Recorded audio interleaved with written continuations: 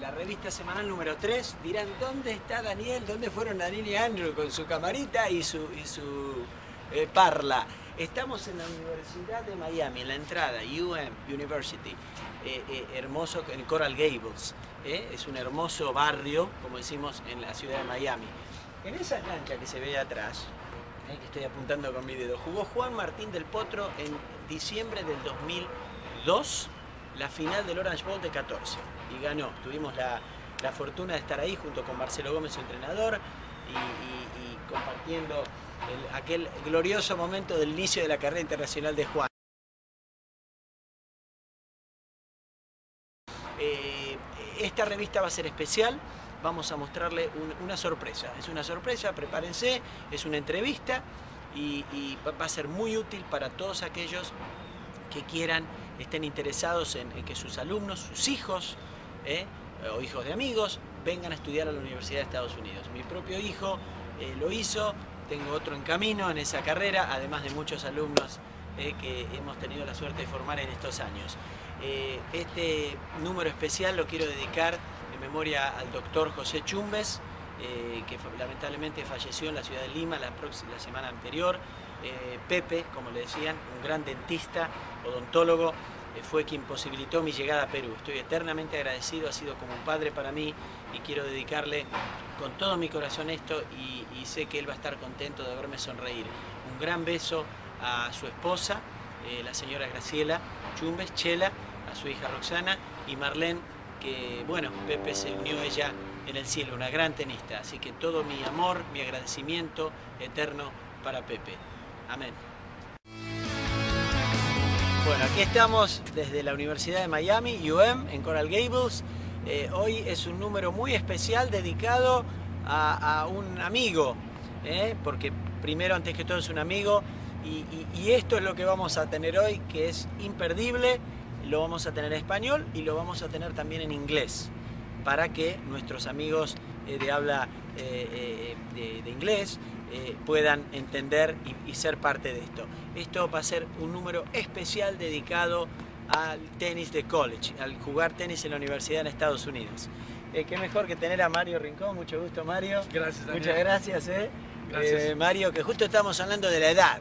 Él no me quiere decir cuántos años tiene, no importa. Yo cumplo 50 el 24 de marzo, así que no se olviden de mandarme una tortita por ahí.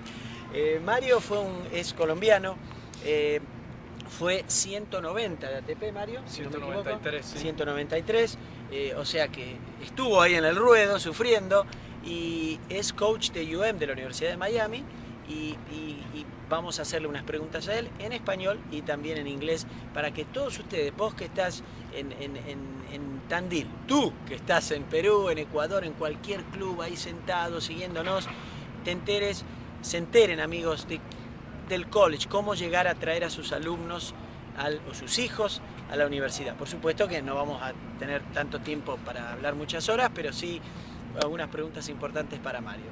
Mario, muchas gracias. Vamos al, grano. Los profes quieren saber, la gente, los papás quieren saber. Eh, un chico que está en Sudamérica, en Latinoamérica, en Europa, ¿cómo, eh, brevemente, ¿no? nos puedes explicar cómo hace para llegar a jugar a la universidad en Estados Unidos? Y antes que nada, ¿cuánto hace que estás en UM? Llevo aquí siete años y medio y, tengo la gran fortuna de trabajar para esta gran universidad y, bueno, les quiero hablar un poquito acerca de, los pasos necesarios para, poder jugar tenis en la universidad. Los, requisitos académicos son bastante exigentes. Hay que completar un cierto número de, de, cursos aprobados por la organización de college de universidades aquí en NCAA y también hay que tener el, eh, el, examen SAT, el examen de TOEFL y hay que registrarse con, con la NCAA, eh, esta organización de college, en, en, un website que se llama eh, eligibilitycenter.com. Ahí los, los estudiantes tienen que, que enviar los, las, las notas de bachillerato de los últimos cuatro años autenticadas y, también el diploma del colegio y esto también hay que enviarlo a la universidad a la que se está aplicando. Entonces es, es un proceso largo y es un, y es un proceso complicado. Eh, no es tan fácil completar todo esto. Muchos estudiantes en, en Sudamérica y en, y en Europa y, y, en muchos países ellos contratan a, ciertas personas que les ayudan en, este proceso, que yo diría es, es recomendable en muchas situaciones. Y bueno, también nosotros como entrenadores de, de universidades buscamos a, jugadores que, se adapten a jugar a la cancha de cemento, a cancha rápida. Muchas veces tenemos que jugar en cancha cubierta mm, y también es muy importante que nuestros jugadores sepan jugar bastante dobles. Eh, es algo primordial en, la competencia de universidades. Entonces, entonces eh, ellos tienen que tener un, juego muy, muy agresivo, adaptable a las canchas de cemento. Ahora que Mario mencionó lo rápido, por supuesto que es nuestro problema. Vos creciste en Colombia, ¿verdad? Eh, supongo en canchas de arcilla, de, polvo de ladrillo. Eso es lo que sugerirles a estos muchachos en Sudamérica que aspiran al college que practiquen en cancha rápida y que jueguen dobles, ¿no? Muy importante, es, es muy importante. Desafortunadamente en Sudamérica no, no, tenemos este tipo de juego tan, tan común como lo es aquí en, en Estados Unidos, pero, pero como es así también los jugadores sudamericanos tienen, tienen grandes ventajas. Son, nosotros como jugadores buscamos jugadores que sean muy como entrenadores buscamos jugadores que sean muy aguerridos, que, que, que luchen los puntos, que, que sean jugadores de equipo. Es un gran cambio llegar aquí a jugar por un equipo en vez de hacerlo por ellos mismos. Entonces uh, ellos tienen que estar dispuestos a, a, este, a esta adaptación, a, a, que no se trata de ellos mismos, a que es, es acerca de un grupo, de un equipo, pero por lo general los jugadores suramericanos son, son jugadores muy prendidos, muy, muy de grupo, muy, de, muy guerreros. Entonces, ah, cuando ellos ah, logran ah, llegar aquí, para nosotros es una gran fortuna. Perfecto. Eh, un par de preguntas más, Mario, eh, para que ilustrar a todos nuestros amigos. ¿Cuántas divisiones hay eh, de college? Así brevemente que nos expliques para que tengan idea de qué se trata. ¿no? por ejemplo, Miami, ¿en qué división juega? Nosotros jugamos uh, en División 1. Okay. Hay en NCAA. Okay. Hay División 1, División 2. muy importante. Y División 3. Las universidades de División 1 generalmente tienen recursos económicos uh, más altos. Eh, tienen mejores instalaciones, tienen, tienen uh, dos entrenadores disponibles, tienen muy buenos gimnasios, una, un calendario de competencia muy, muy bueno en, en varias partes del país. Ah, y en general ellos ofrecen más desde ese punto de vista. Y, bueno, también tenemos la, la, División 2, es una universidad, es una, perdón, eh, es una división que, que tiene más flexibilidad en cuanto a la edad de los jugadores. Ahí puedes, puedes tener 25, 26 años y, puedes jugar División 2 todavía. Entonces, yo todavía tengo esperanzas. No, estoy viejo ya. Y, entonces ah, ah, de, pronto, de pronto no hay tanto, tantos equipos tan buenos, pero los equipos... ¿Es mucha diferencia de nivel de juego entre 1 y 2? No necesariamente. Bueno, yo creo que hay, hay más equipos buenos en División 1 que en División 2, pero los de División 2 también tienen un alto nivel, bastante, bastante alto. Eh, y, como te digo, tiene sus ventajas a veces. Ah, División 3 no tiene becas becas uh, deportivas, solamente académicas. Entonces sí, lo, lo, hace un poco más difícil para, para, para nuestros uh, países en Sudamérica, puesto que muchas veces es necesario esa, ese, ese, aporte económico en cuanto a la beca. O sea que si un jugador, para clarificarlo bien, tiene, tiene, eh, eh, no tiene posibilidades económicas, división solo aspiraría a una beca en una División 1, tendría que jugar muy bien y tener grandes notas, ¿no? grandes eh, en estudios, ¿verdad? Porque si no en División 3 no le van a becar. Exactamente. Y hay Junior, yo escuché Junior College. ¿Es otra división o es parte de cómo es? Junior College es otra división aparte de NCAA. Okay. Junior College es solamente por dos años. Pero después de que terminas los dos años, te puedes transferir a una de División 2 o de División 1. Entonces es, es, un paso que se, que se puede dar ahí. Ah, personalmente, eso fue lo que yo hice. Jugué para un Junior College en, en, Carolina del Sur y después terminé en una universidad de División 1 en Kentucky. Entonces, entonces puede ser un paso que, que, puede ser muy significativo en la carrera de un, de un estudiante suramericano.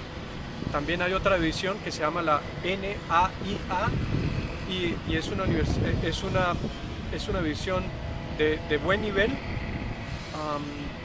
que no tiene, no, tiene, eh, no tiene a lo mejor los recursos económicos de División 1 o de División 2, pero presenta oportunidades también para, para muchos jugadores. Y Marito, la última pregunta para cerrar esta increíble entrevista es, eh, muchos coaches eh, nos preguntamos, se preguntan, los mismos jugadores, quiero jugar en el college, pero después quiero ser profesional. El nivel de División 1 especialmente, ¿te da para eso? O sea, decir, no, sinceramente no. Un tipo que sale de la universidad, muy difícil que la haga, como decimos nosotros, o sí, realmente, si tiene condiciones, puede, por el nivel que va a tener de entrenamiento, de partidos. Sin lugar a duda. Yo pienso que, que una de las causas por las que el, el tenis en Estados Unidos se ha frenado un poquito en los últimos años en cuanto a producir estrellas eh, del deporte, ganadores de, Grand Slam y todo eso, es porque se, se, han apartado un poquito de, college tennis, del tenis universitario. La gran base de los tenistas americanos es producida en el tenis universitario. Ah, en el momento a los, a los mejores jugadores de, juniors del país se, se les está aconsejando que vuelvan a las universidades para que después sigan sus carreras como profesionales, porque es un sistema que, que ha dado resultados aquí, ah, con McEnroe, con ah, Jimmy Connors, con ah, James Blake, con John Isner, más recientemente. Los Bryan, ¿no? Los hermanos Bryan. Los hermanos Bryan, exactamente. Entonces... Perdón, disculpe, y extranjeros, Benjamin Baker, Delic, Kevin Anderson, ¿verdad? Que eh, son todos salieron de college americano. Eh, eh, son figuras de otros cantidades y cantidades. Entonces, entonces ah, realmente venir a jugar tenis por la universidad aquí en Estados Unidos es un gran camino para, para llegar a ser tenista profesional y al mismo tiempo ah, obtener un grado universitario. Perfecto. Cerramos la última. Eh, cortita. Marito, cualquier cosa, eh, eh, si alguien, sabes, Miami es el centro de Latinoamérica, muy cosmopolita, quiere llegar a UM porque tiene un jugador que está jugando bien, ¿cómo, cómo, cómo puede hacer? ¿Te contacta a ti? Bueno, para, para contactar un coach de universidades ah, es muy fácil. Ah, tú vas, ah, tú ves el nombre de la universidad en internet y te vas a la página deportiva y de ahí buscas el, el, nombre del coach, el, el, email, el teléfono. Esto, esto lo pueden hacer eh, con cualquier universidad. Uh, hoy en día todas las universidades tienen su, su, página web con todos los datos disponibles y los coaches uh, en college recibimos muchísimos emails y, llamadas telefónicas y, y esa es la forma de contactarnos. Bueno, muchas gracias Mario por tu tiempo. Sabemos que estás muy ocupado en este hermoso lugar. Te felicitamos, te deseamos lo mejor, que sigan los éxitos y una información excelente. Eh, en otro momento les prometemos esta entrevista en inglés porque fue muy rica. No quisimos, en un momento pensamos en mezclar las preguntas en inglés y en español, pero les voy a ser muy sincero. Hubiera sido una ensalada para los de habla hispana y los de habla eh, eh, inglés. Entonces, eh, les pedimos disculpas si hemos decepcionado a algunos con el tema de la, lengua, pero lo haremos en otra oportunidad, se lo prometemos.